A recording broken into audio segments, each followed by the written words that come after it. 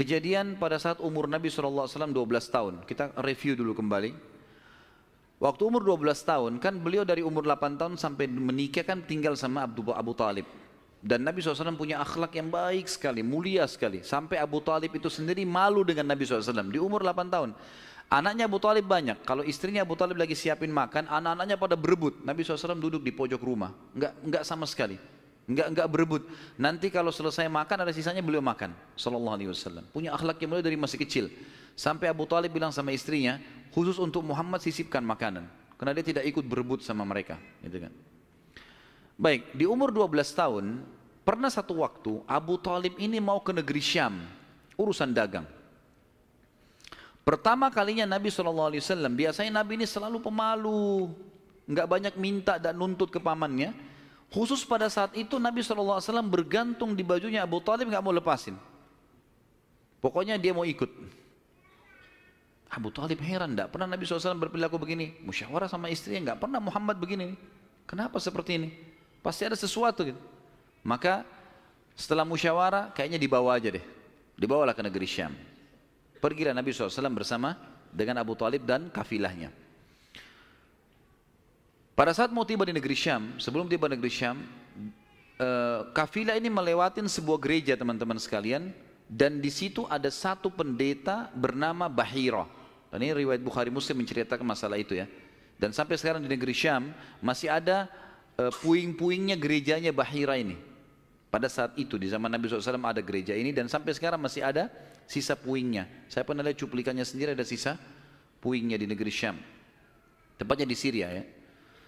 Kemudian teman-teman sekalian, pada saat melewatin kafilah, kafilah ini melewatin gereja, si Bahira ini kepala pendeta di gereja itu memang lagi nunggu informasi tentang Nabi terakhir nih. Dia dia ngeliat-liat di jendela gerejanya setiap kafilah lewat dilihat sama dia, terutama yang dari Jazirah Arab. Waktu secara kebetulan dengan hikmah ilahi lewat kafilahnya Abu Talib dan kafilah ini agak berbeda dengan yang lainnya. Kafilah itu berarti tiga unta ke atas ya, baru dinamakan kafilah. Tiga ekor unta ke atas baru dinamakan, baru, baru dinamakan kafilah. Setiap le waktu lewat kafilah Abu Talib ini ada awan yang menaunginya. Beda dengan kafilah lain, padahal lagi terik matahari. Dan tidak sengaja kafilah Abu Talib istirahat di sebelah gereja dan ada pohon-pohon kurma yang berderet, itu semuanya seperti menundukkan daun-daunnya ke kafilah itu. Pendeta ini perhatikan, kafilah tanya ini, kirim satu orang, tanya mereka kafilah dari mana nih? Jawabannya dari Jazirah Arab. Dari mana? Dari kota Mekah. Kata Bahira, hidangkan makanan sebaik mungkin di gereja, undang semua kafir ini masuk makan. Diundanglah. Ringkas cerita masuklah mereka untuk makan dan pada saat satu kafilah ini masuk yang ditinggalkan di situ hanya Nabi Shallallahu Alaihi Wasallam. Nabi nggak boleh masuk karena tradisi orang Arab dulu aib kalau anak kecil ikut makan. Nanti selesai orang tua makan baru makan. Tapi ini tradisi jahiliyah. Kalau sekarang antum lakukan antum juga jahiliyah. Makan kasih anak-anak makan. Kenapa harus disendirikan? Mungkin dia lapar kesian. Gitu kan? Baiklah. Waktu lagi makan, Bahira ini memperhatikan satu persatu orang-orang Quraisy ini wajahnya, karena dia mereka tahu cirinya Nabi terakhir, alisnya, wajahnya, mukanya, kulitnya, jalur nasabnya semua jelas. Tidak semua tidak ada tanda-tanda kenabiannya. Ini mukanya muka biasa semua.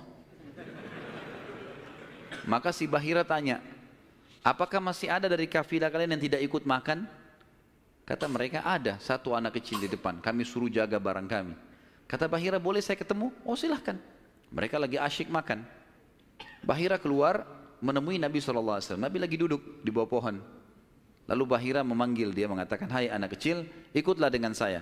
Kafilahnya disuruh jaga oleh beberapa pegawainya Bahira ini masuk di satu ruangan di gereja kemudian Nabi SAW berdiri lalu kata jadi orang Mekah begini teman-teman. Mekah itu ada patung namanya Lat dan Uzza.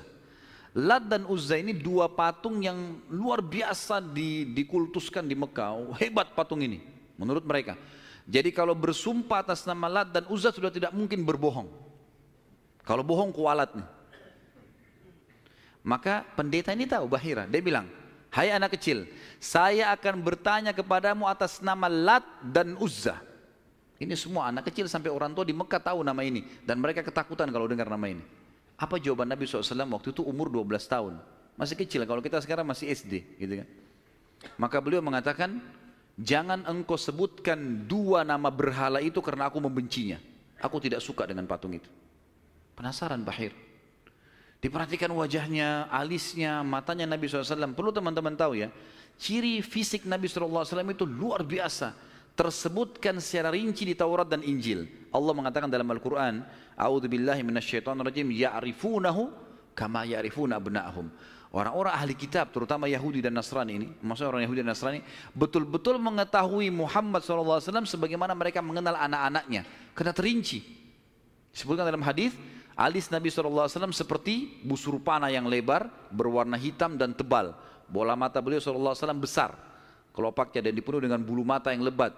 Bola matanya putihnya putih bersih, hitamnya hitam pekat. Hidungnya yang mancung, bibir, dahi dan pipi yang setara dengan wajah, tidak oval dan juga tidak bulat. Gitu kan? Kulitnya sangat putih sampai Nabi SAW pipinya kemerah-merahan. Jadi sangat tampan, luar biasa. Sampai ahli hadis mengatakan kalau Yusuf alaihissalam diberikan sepertiga kegagahan dunia maka Nabi SAW memberikan seluruh kegagahan dunia. Tidak pernah ada orang melihat Nabi SAW tidak suka. Manusia terbaik pilihan, paling sempurna nasabnya, paling sempurna ilmunya, fisiknya segala-galanya. Bahira memperhatikan Nabi SAW, ini semua ciri yang disebutkan dalam Injil ada. Dia masih bimbang, dia ingin buktikan satu hal. Apa itu?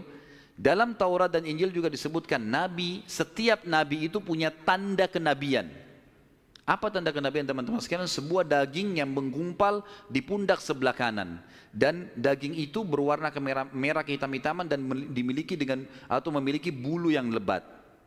Maka Bahira berkata, "Hai anak kecil, apa kau izinkan saya untuk melihat punggungmu?" Dia mengatakan, iya silakan. Dibuka oleh Nabi SAW. Begitu dia lihat tanda itu, lalu Bahira menciumnya dan mengatakan, kaulah orangnya. Tapi garis bawah satu hal ya. Tanda ini tanda kenabian. Hah? Sudah selesai dengan Nabi Muhammad SAW. Jadi kalau di punggung antum ada dusta semua itu. Tidak ada hubungannya sama Nabi.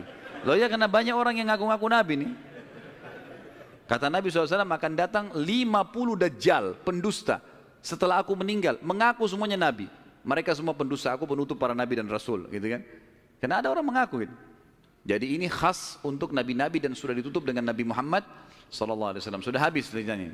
Nah, jadi kalau ada yang gumpal-gumpal itu daging numpang aja. Pada saat itu Buahira pun membawa Nabi SAW masuk ke dalam ruangan makan lalu berkata, siapa walinya anak ini? Wali, ya. Siapa walinya anak ini? Kata Abu Talib, saya ayahnya. Abu Talib berkata, pamannya, Kata Bahira, tidak mungkin kau ayahnya. Anak ini mati ayahnya waktu dia masih enam bulan di perut ibunya. Pendeta di negeri Syam tahu. Anak ini meninggal ayahnya waktu dia umur enam bulan di perut ibunya. Dan ibunya meninggal pada saat dia umur enam tahun. Serta dia dibina dan dididik. Dibina itu maksudnya di, di, dikasih Uh, kalau bahasa Arab itu bina itu berarti di, seperti bangunan itu dibanguni, dididik, dibesarkan dan seterusnya oleh kakeknya sampai umur 8 tahun. Dan kalau kau benar kerabatnya, kau adalah pamannya. Abu Talib kaget, dari mana anda tahu semua itu? Benar semua. Dia bilang kami temukan dalam kitab kami. Ketahuilah, keponakan kau ini adalah nabi terakhir yang sedang ditunggu oleh orang-orang. Dan kalau orang Yahudi tahu dia dari turunan Arab, maka pasti mereka akan membunuhnya sebagaimana mereka berusaha membunuh Isa alaihissalam. Kalau mereka tidak suka, mereka tolak, gitu kan? Maka jangan bawa ke negeri Syam, bawa pulang ke Mekah segera. Akhirnya dibawa pulanglah Nabi saw ke Mekah pada saat itu. Waktu dibawa pulang ke Mekah, setelah tiba di Mekah, maka ada kejadian kecil di sini dan kita tutup dengan ini tentunya. Waktu sudah pulang ke Mekah, Abu Talib sudah mulai ketakutan karena dia sudah dengar informasi tentang ponakannya nih.